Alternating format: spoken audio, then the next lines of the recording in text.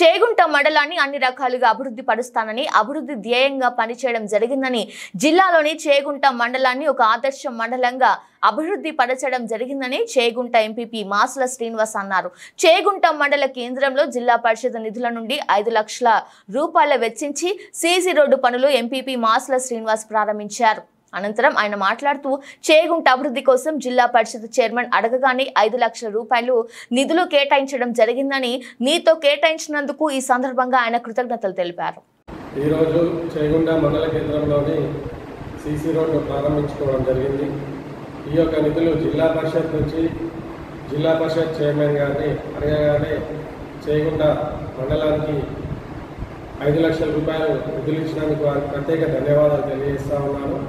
అదేవిధంగా ఆ యొక్క సీసీ రోడ్డు ఐదు లక్షలతో పూర్తి కాలేదు. ఇంకొక ఐదు లక్షలు కూడా పెట్టి దాన్ని పూర్తి అయ్యే విధంగా చూసి మరి ఆ ఆ యొక్క గల్లీని పూర్తిగా సీసీ రోడ్డు చేస్తారని చెప్పేసి మీకు ఈ సభాముఖంగా తెలియజేస్తున్నాను అదేవిధంగా చేయకుండా మండలంలోని మరి ఐదు సంవత్సరాలలో మరి సుమారు ఒక ఎనిమిది కోట్ల రూపాయలు సీసీ రోడ్లకు ఇవ్వడం జరిగింది. అదేవిధంగా చేగుండ గ్రామానికి సుమారుగా చేగుండ పట్టణానికి మూడు కోట్ల రూపాయల నిధులు ఇవ్వడం జరిగింది. మరి ప్రతి గ- గల్లీ కూడా సీసీ రోడ్ చేయడం జరిగింది.